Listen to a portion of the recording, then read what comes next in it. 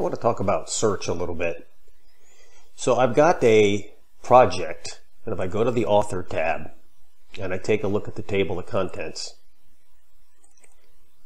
if a topic is in the table of contents, the topic will be found when the user searched. And just to give you an example of that, I have a topic in the table of contents called drug policy. So I've already output my project I'm going to go ahead and go to my output tab and I'm going to view it. And I'm going to go to search and I'm going to type drugs.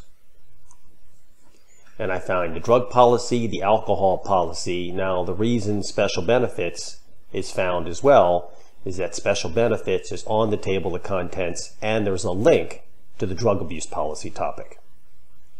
Now I want to show you another topic here in my project which is going to lead us to the problem. On the Contents tab, I have a topic called Pets in the Office Policy. Here it is. That topic is not in the table of contents.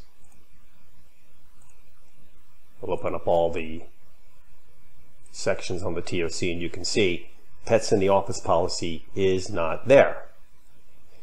So if I go to my output, let me switch back to my output real quick and I search for snakes, which I know is a word in the topic, nothing is found. So how can you add a topic in RoboHelp to search when the topic is not in the table of contents or you don't want it to be in the table of contents? So let's think about that for a second. It is not appropriate to put everything in your project in the table of contents. First of all, you might have thousands and thousands of topics and if you put too much content in there, it's going to be unusable for your end user. So here's what I recommend that you do. Let me close these sections just to collapse this whole interface. I'm going to make a section here and I'm going to call it not in TOC but searchable. And I'll click done. Now what you can do if you want every topic in your project to be searchable, you can just go to your contents and start dragging and dropping them into this folder, into the section I should say.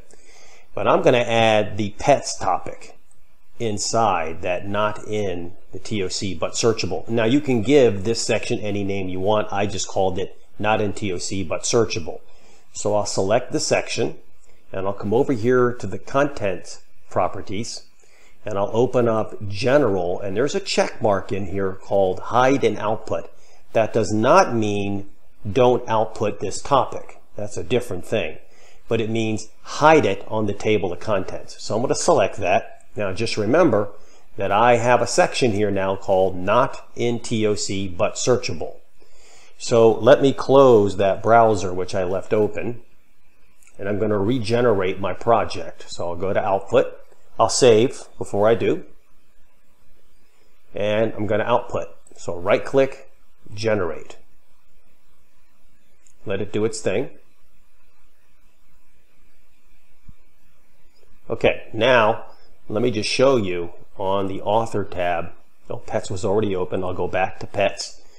I'm looking for the word snakes because snakes is in the topic. I could easily look for aquarium, you know? So I'm going to go back to my output tab. I'm going to view my output. This is frameless output. I just called it policies output. I'll view it.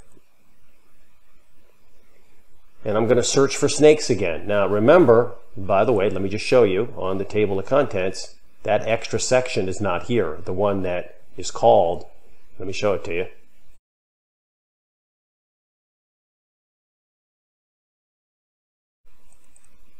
It's called not in TOC but searchable, right? So let me search now for snakes. I'd search for aquariums, but I just misspelled it, so I'm not going to do that. I'll press enter, and there is a direct hit for pets in the office policy. And if I click it, there it pops up and the word snakes is selected. I think that's pretty cool. A quick way to add something to search when you don't want it on the TOC.